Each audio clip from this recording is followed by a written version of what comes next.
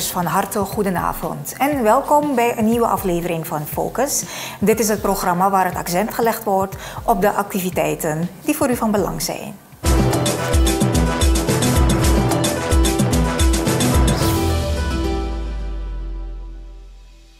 NCCR acht gedegen voorbereiding en begrijpbare informatie noodzakelijk. OE houdt presentaties over wegenbeleid en verlaten verkavelingen. Immunisatieweek moet achterstand in vaccinaties helpen inlopen. Verkenningsmissie van de Nederlandse Voedsel- en Warenautoriteit officieel van start. En Surinaamse militairen maken kennis met Nederlandse procedures bij riverine operaties.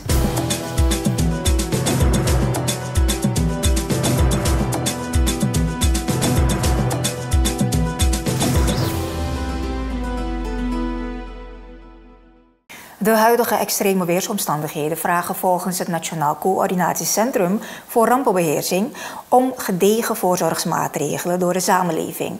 Vanwege hevige regens van de afgelopen dagen zijn heel wat gebieden blank komen te staan, waarbij huishoudens ook schade hebben opgelopen. NCCR-coördinator Jerry Slijngaard geeft een gesprek met de communicatiedienst Suriname aan dat de gemeenschap zich beter kan voorbereiden als de informatie over weerverwachtingen in begrijpbare taal wordt gecommuniceerd naar het publiek.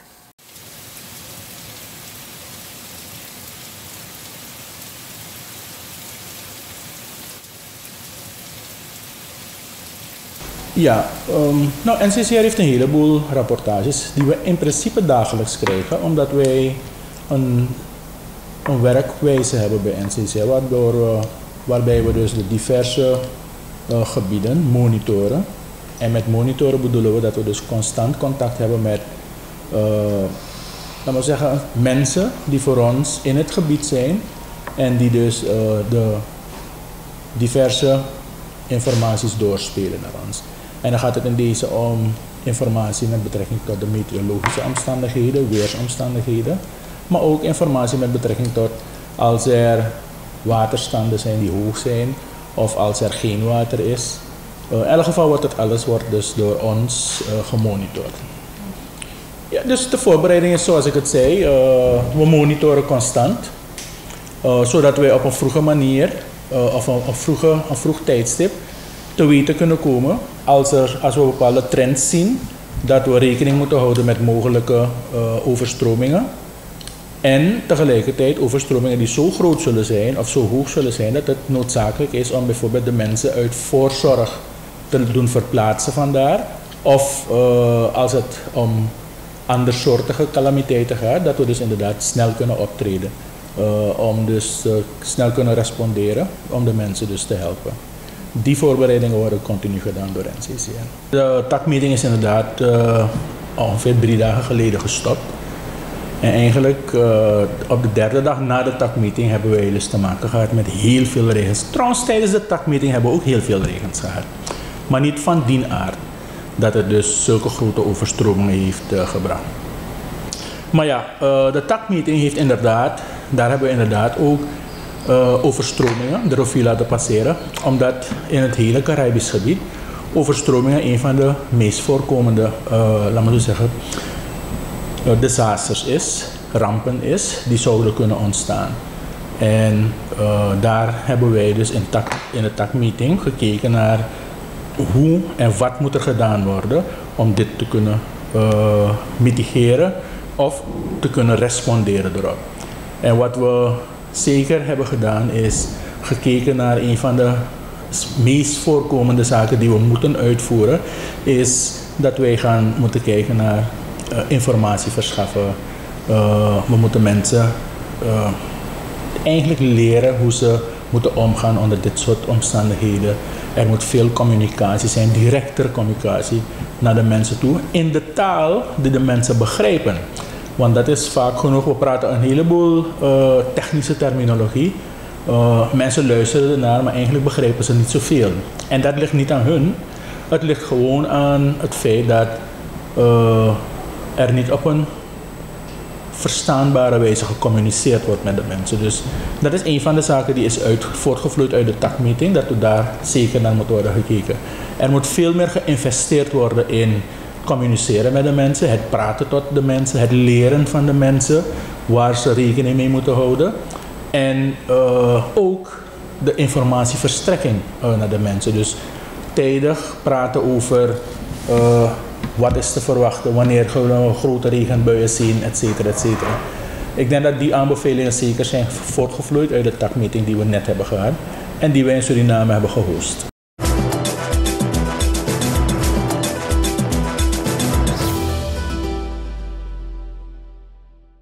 Het ministerie van Openbare Werken heeft op dinsdag 25 april verschillende presentaties gehouden over het wegenbeleid en verlaten verkavelingen. Bij deze gelegenheid heeft OE-minister Riyad Noor Mohamed een toespraak gehouden. En verder heeft er ook een ceremoniële ondertekening plaatsgevonden, waarbij twee wegen zijn overgedragen. Directeur en OD bedankt voor um, de presentatie en de uitleg.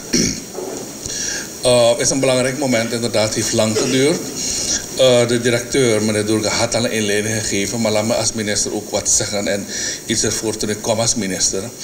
Um, van OW werd ik geconfronteerd met inderdaad heel wat verkavelaars die kwamen voor uh, de issue van verkaveling. Zijn nieuwe oude. En we hadden toen een besluit genomen. En het besluit had, er was een aanleiding voor het besluit. Velen van jullie herinneren dat voor 2020 heel veel issues waren in de media. Mensen hun terreinen werden, kwamen op de veiling, dacht ik. Het was zo bekend, dus dat had ik onthouden. En toen hadden we een besluit genomen om het verkavelingsbeleid een jaar on te zetten. Het heeft langer geduurd, twee jaar. Maar wat is het resultaat ervan? We hebben de vergunningen, vergunningsformulieren veranderd, de handleiding aangepast en vernieuwd. En we hebben de kosten eventueel ook aangepast en um, uh, de eisen in het bijzonder zijn verhoogd. Uh, en dat heeft te maken met twee zaken. Eén is, uh, u weet het allemaal, klimaatverandering, dus overstroming. Dat zijn dingen die we vaker zullen horen en zien. Maar het kan ook droogte zijn, dan moet je gebouw wel bestandig zijn, je terrein bestandig zijn, dat kan je ook hebben. Um, uh, maar ook de veiligheid, bijvoorbeeld. Uiteindelijk was het zo dat heel veel burgers gingen klagen. Ook over wegen die soms niet overgenomen waren, maar de verkavelaar was al overleden. Dus uiteindelijk was het ultiem doel waarom we dat verkavelingsbeleid hadden stopgezet voor een jaar, is om de zekerheid van de burger te gaan garanderen. Daar ging het om. En die zekerheid ging om. Er is een verkaveling, de eigenaar verkavelaar is dood en de persoon is aan zijn lot overgelaten. Of soms de, de, de, de, infrastructuur zag eruit. Dus een weg zag eruit of de kanalen en werden niet meer opgehaald. Omdat OW zich op het standpunt stelde van uh, het project of de verkaveling of de wegen moeten overgedragen zijn. Dat is leuk en aardig, maar uiteindelijk leidt die burger eronder. En daarom hebben we dit besluit genomen. Het besluit is inderdaad dat, uh, maar ik, heb, ik meen dat vroeger hebben jullie dat een keer gedaan. Dus het besluit is dat, en dat was die oproep, dat we alle burgers in heel Suriname oproepen en verkavelaars om, ik praat over de oude groep, de groep zeg maar voor 2020, laat me dat maar even zo zeggen. Alle mensen dat ze zich komen registreren of aanmelden per brief alsnog. We hebben al veel inventarisatie gedaan, maar eh, ik denk dat er nog meer zijn. Eén burger is voldoende om het aan te geven. Dus ik roep die burgers op, als ze in zo'n verlaten verkavelingsgesprek wonen en het is nog niet geregistreerd bij u, om het gewoon per brief of per app te doen. Dan maken we contact en dan zorgen we ervoor dat we alle informatie gaan opvragen. En wat u vandaag heeft gezien is één van de overdrachten. Waarbij we zeg maar, de infrastructuur hebben overgenomen. Want we gaan alles inderdaad aftoetsen. Dus dat is een belangrijk moment. Uh, en zo willen we alle projecten die zeg maar, verlaten aan lot één voor één bekijken en ook zo'n overdracht proberen te bewerkstelligen. Want het is heel makkelijk om alles zo te laten. Natuurlijk lief voor kort, maar het beleid moet wel door worden. Ja, dus het duurzaam beleid. En vanaf nu weet u dat um, de nieuwe vergunningseisen ook gelden. Dus voor de nieuwe verkavelaars hebben we ervoor gezorgd dat met een prognose van 15, 15 jaar proberen wij de eisen ook voor die periode vast te stellen. Uh, dat is één, um, bouwrecht maken van grond. Um, tegen overstroming onder andere. Rukwinden, aanpassing van de bouwvergunning. En belangrijk is ook um, de ontwatering. Is veel scherper geregeld. Maar ook ehm, eh, de prijs. Want wat we vaak hebben ervaren is dat mensen of komen met een verkavelingsplan, uh, verkopen het misschien voor een tarief waarvan ze even later tot de conclusie komen dat ze niet alle kosten hebben meegenomen. Dus daar gaan we streng op letten. Als je, een, als je berekening niet klopt, gaan we je daarop wijzen.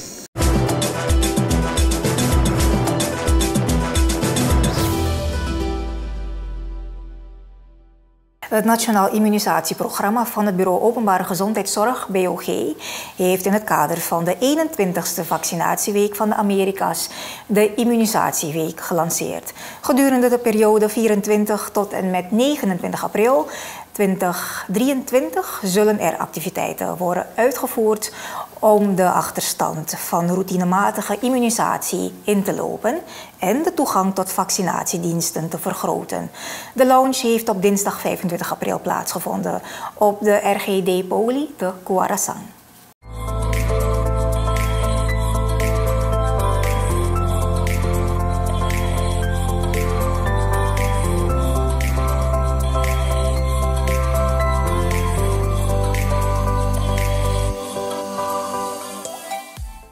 Een vaccinatieweek voor de Amerika's. Het is de 21ste keer dat PAHO dit organiseert, zodat de landen in de Amerika's extra aandacht besteden aan vaccinatie. Vaccinatie is in principe iets dat uh, altijd moet blijven plaatsvinden om de kinderen vooral uh, te beschermen tegen ziekten die ze kunnen oplopen. En tijdens deze week heeft PAHO gemeend om deze landen wat extra aandacht te laten besteden aan het vaccineren. Door COVID is er sowieso een, mindere dekking, vaccinatiedekking. Je had uh, minder bezoek, bezoeken van, uh, van de ouders met hun kinderen. En, uh, en er werd uiteraard op een andere manier gewerkt. Maar dan nog, de vaccinaties die gingen gewoon door. Maar de, de de intensiteit was niet even hoog als normaal. Maar wij probeerden wel iedereen op te roepen en alle kinderen uh, te vaccineren zodat ze ook beschermd werden voor de kinderziekte. Maar uh, door de situatie rond COVID-19 is er zeker wat impact dat de dekking ook wat lager viel. Maar nu proberen we dat zo snel mogelijk in te halen en, op een, en naar een uh, naar een uh, goede dekking te streven.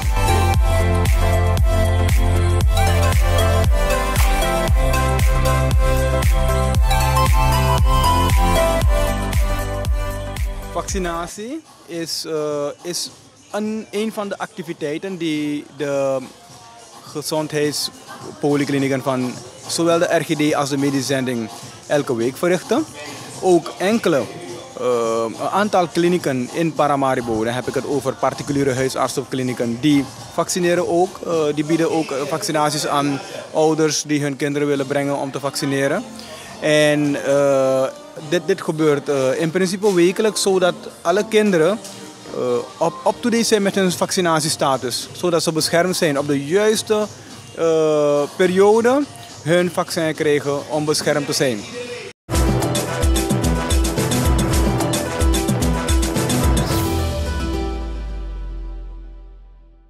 Op maandag 24 april vond de officiële start plaats van de verkenningsmissie, welke bestaat uit vertegenwoordigers van de Nederlandse Voedsel- en Warenautoriteit NVWA. Dit in het kader van het Macandra-project van het ministerie van Landbouw, Veeteelt en Visserij. Het Macandra-project is een government-to-government project ter verbetering van de exportpositie van Suriname voor geselecteerde en exportrelevante agrarische producten en op het gebied van productie, verwerking en handel, zodat deze voldoen aan internationale standaarden voor kwaliteit, gezondheid en voedselveiligheid.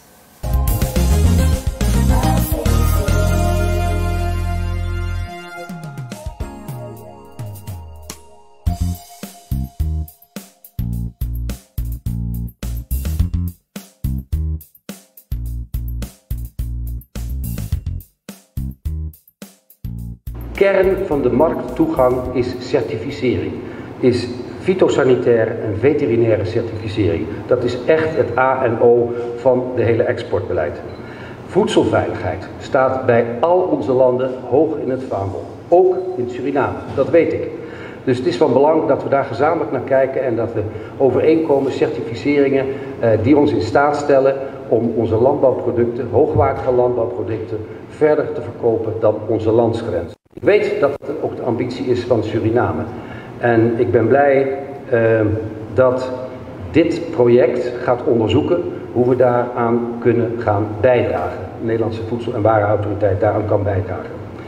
Dit project wordt gefinancierd uh, met fondsen die beschikbaar gesteld zijn in 2020 in het kader van het Macandra Steunfonds. Dat Macandra Steunfonds beoogt projecten als deze te, te, te financieren uh, die Suriname moeten helpen bij het opzetten van een productiecapaciteit en de zelfverdiencapaciteit van dit land uh, te vergroten. En dat is ook van belang uh, bij de ontwikkeling van, van de landbouw- en veeltipindustrie in Nederland. Ik hoop uh, dat dit bezoek daaraan zal gaan bijdragen. Uh, ik hoop dat dit bezoek niet het eindpunt zal zijn. Ik hoop dat het bezoek en dit project waar we nu naar aan het onderzoeken zijn, de aanzet zal gaan geven voor verdere samenwerking. Er zit nog meer geld in het Macandra Fonds, meneer de minister. Dus uh, we kunnen weer daar ook naar gaan kijken, wat als vervolgprojecten hiermee kunnen doen. Uh, maar ik ben heel blij als er iets is waar Nederland echt in geïnteresseerd is in kennisoverdracht, dan is het in deze sector.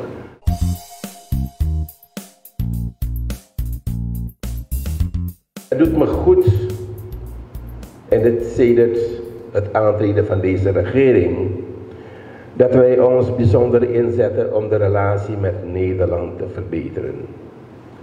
Wij zijn nog steeds op de oude manier bezig en ik wil dat helemaal gaan omgooien nu. En we gaan nu richting, ook die fases zijn nu gepasseerd, we gaan nu richting productschappen. Laat per gewas, per product, alle stakeholders het hele waardeketen laat ze met elkaar aan tafel zitten. Die wetgeving heb ik vorig jaar al laten goedkeuren in het parlement. We zijn nu bezig met de voorbereidingen voor de implementatie daarvan. En laat daarbinnen bekeken worden van, laat zij dat de sector zelf bepalen wat er gedaan moet worden. Omdat zij de ins en outs van hun eigen product wel beter weten dan vaak de overheid zelf. Laat mij dan werken om zaken zoveel als mogelijk te verzelfstandigen. En dan ga ik meteen richting NPPO. Viskunstinstituut is ver, verzelfstandigd. De sector brengt zelf de middelen bijeen en, uh, om daar de keuringen te verrichten. Omdat de sector ook beseft van als ze niet bijdragen, dat ze niet mogen exporteren. En dat moet nu ook gaan gelden voor de groente- en fruitboeren. Laat zij ook tot besef komen van luister, zaken gaan nu anders. De spelregels gaan veranderen. Zij moeten ook een bijdrage daartoe leveren. Zo moeten wij zaken gaan aanpakken, meer mensen motiveren. Door die extra opbrengsten kunnen jullie gaan bepalen dat de, de experts beter kunnen verdienen.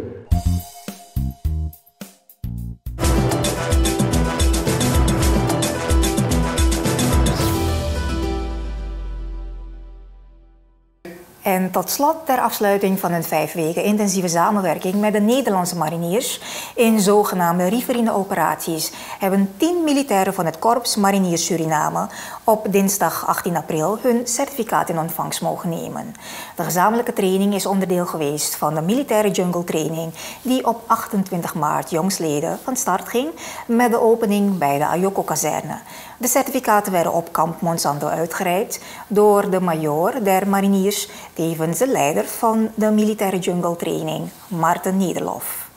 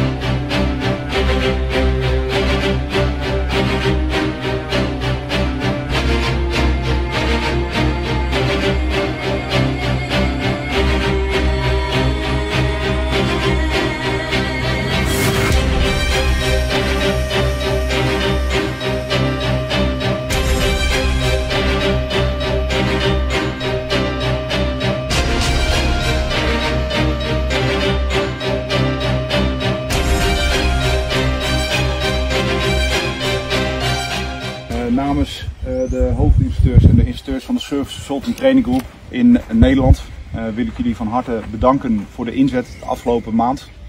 we hebben jullie alle kennis en vaardigheden aangereikt die het mogelijk moeten maken om dit rijbewijs waar te gaan maken. Dat betekent dat de kennis die je nu hebt de basis is waarop je in de aankomende maanden uh, verder door kan pakken. Geef deze kennis ook door aan je collega's in, in Domburg en zorg ervoor dat deze kennis verder verspreid wordt binnen de eenheden. Dit is de manier waarop wij in Nederland werken en wij in Nederland uh, onze infanterie op het land afzetten hier in een jungle-omgeving.